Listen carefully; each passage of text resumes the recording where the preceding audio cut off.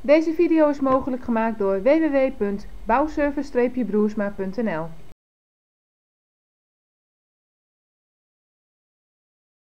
De diverse noordelijke zaalvoetbaltoernooien troffen elkaar gisteravond in Leek voor de Noordelijke Supercup. En onze provincie werd vertegenwoordigd door Hogeveen, LTC uit Assen en Hodo uit Hollandse Veld.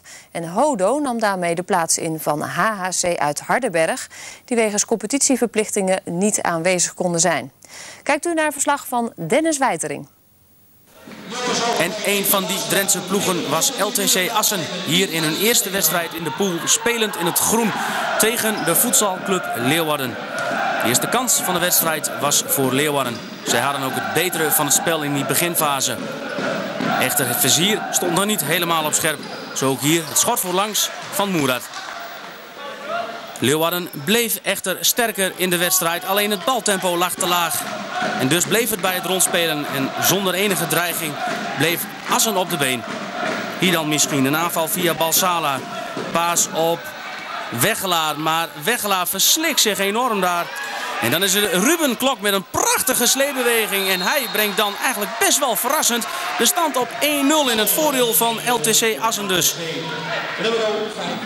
Ja, en dan moet Leeuwarden terugkomen in de wedstrijd. Het tempo moet dan omhoog.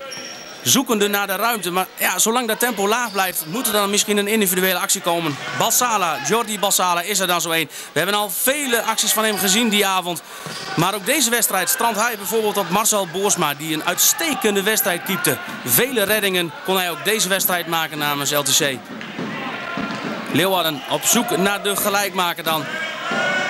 Het schot ja, het is eigenlijk geen schot. Het is een wanhoopspoging van Leeuwarden. Maar die doelman, Boorsma, hij had al een aantal reddingen gemaakt. En kijk hier eens, een prachtige worp op het hoofd van Roderick Timme. En die zet LTC Assen op een 2-0 voorsprong.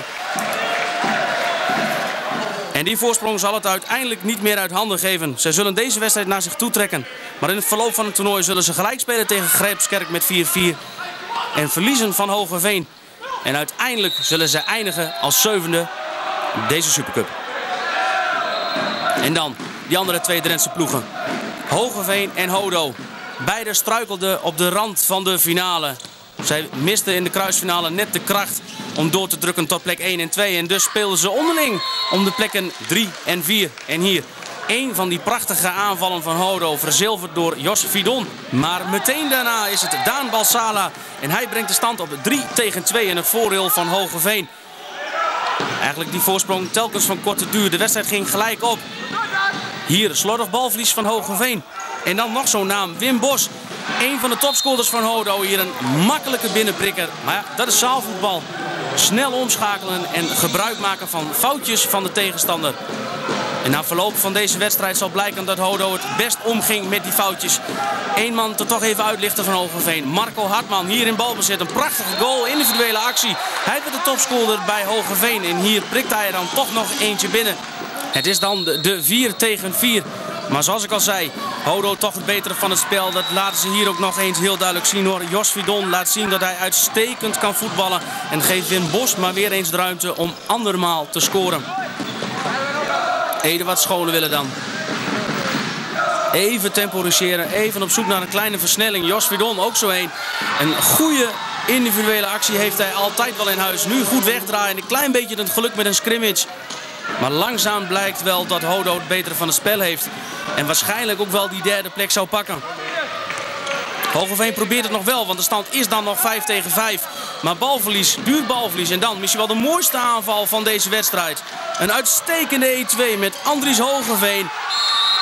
En hij brengt de eindstand op 6 tegen 5. Zij worden dus derde en Hogeveen vierde. Aanval gezien, uh, ik denk dat wij altijd wel uh, een van de aanvallende ploegen zijn hier in de regio. En ja, dus toch een beetje, beetje sneu en dan uh, toch nog derde worden. Maar ja, ik had toch graag hier de, de grote finale willen spelen.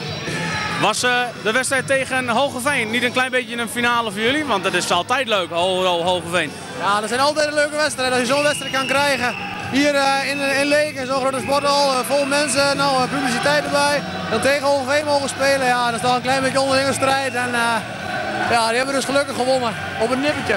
Ja, nou, van beide kanten hebben we er een open partij van gemaakt. We hebben allebei willen voetballen, allebei op de aanval. En uh, het is zo dat, uh, ja, ik heb zeven jaar bij Hodo gezeten. En ik gun het hun ook. ja, die het meeste scoort, die wint. Ja, en dat was Hodo in deze situatie. Ja, en het toernooi werd uiteindelijk gewonnen door de voetballers van Grijpskerk. Zij versloegen in de finale het studententeam van Dr. Anders Vijfje met 5 tegen 2.